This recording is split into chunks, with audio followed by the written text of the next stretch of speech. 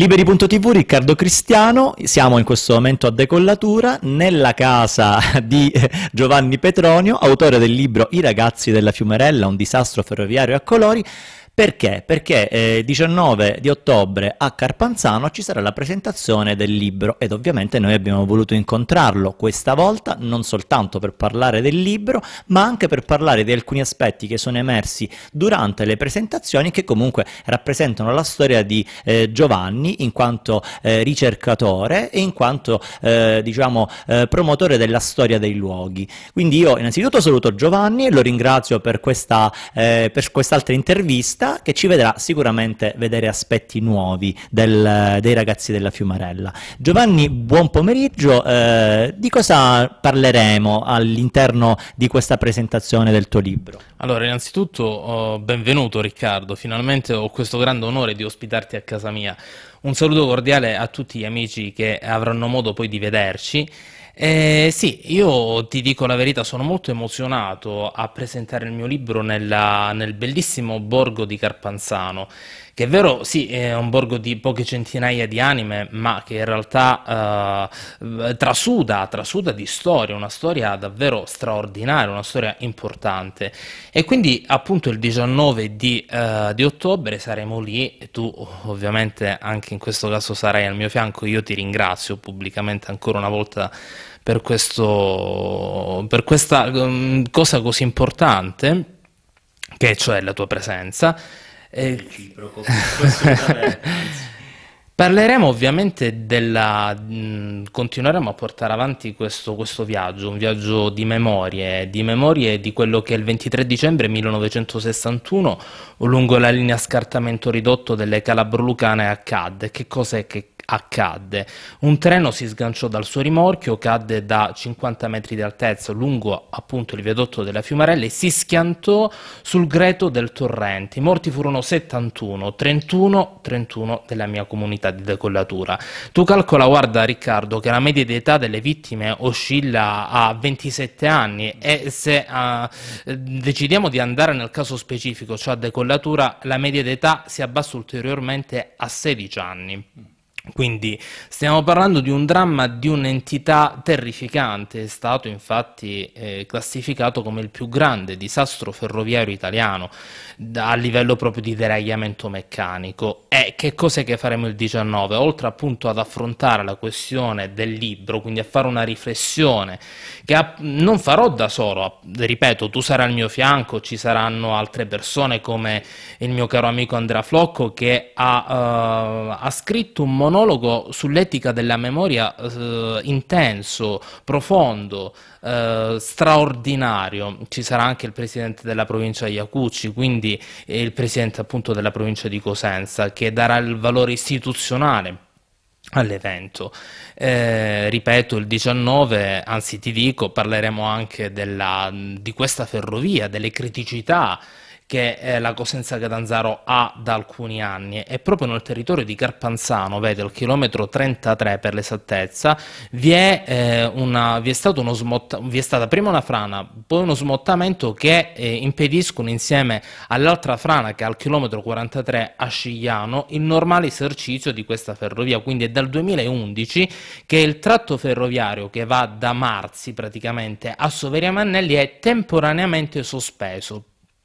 ed è sostituito, ne parleremo anche il 19, da alcuni mezzi su gomma che in un tempo biblico eh, da Soveria Mannelli ti portano a, a, a, Cosenza, tempo biblico perché io sto parlando che tra andata e ritorno da Soveria Mannelli con i mezzi sostitutivi si, impiega meno, si impiegano più o meno 6 ore, 6 ore, quindi davvero un tempo record. Eh, e quindi sono, sono anni che mh, ho provato, che provo ad impegnarmi perché se ne parli di questa ferrovia, perché se ne discuta e perché appunto si prendano i provvedimenti necessari per la sua riapertura. Certo, poi tra l'altro c'è da dire che la ferrovia non è soltanto un mezzo di eh, collegamento tra eh, un paese e un altro paese, ma è anche un mezzo di cultura, quindi tu nella tua attività di ricerca e di documentazione dei luoghi stai cercando anche di riportare in auge quello che sono le eh, eccellenze del territorio. Nella, eh, nel tuo libro, I ragazzi della Fiumarella,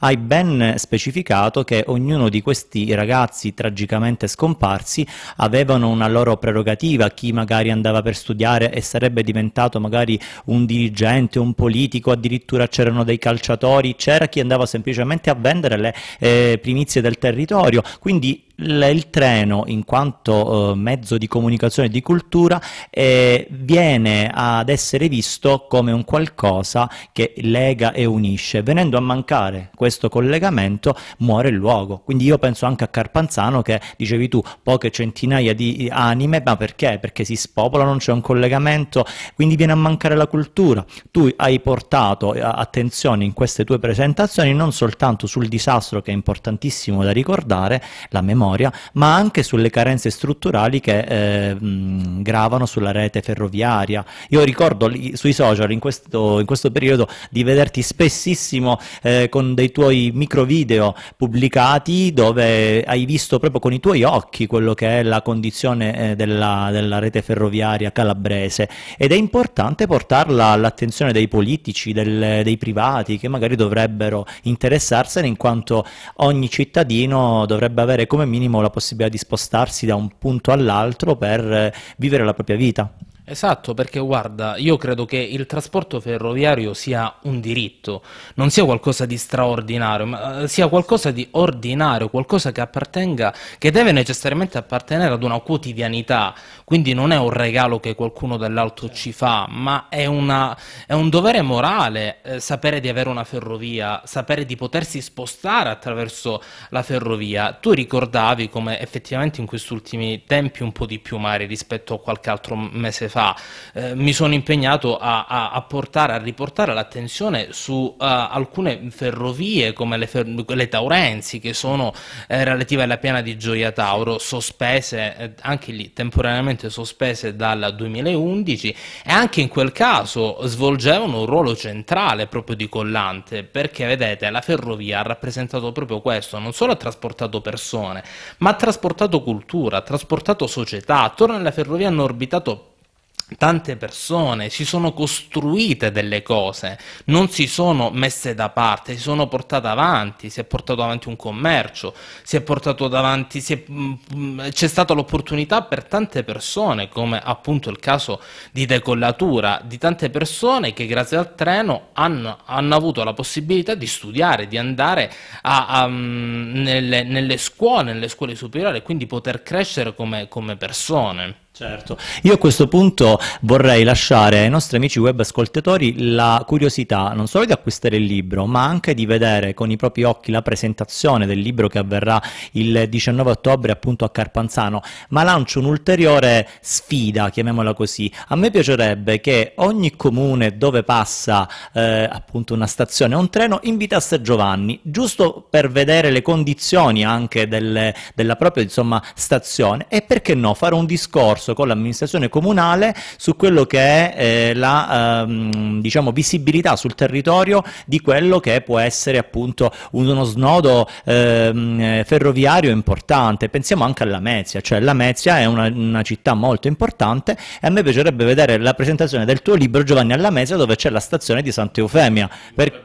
Per... Tra l'altro voglio ricordarti, scusami se ti interrompo, che la Mezia Terme non solo l'aeroporto più importante della Calabria, ma la stazione ferroviaria più importante della Calabria. Quindi allora una riflessione in più dovremmo farla a, a, a proposito. La, eh,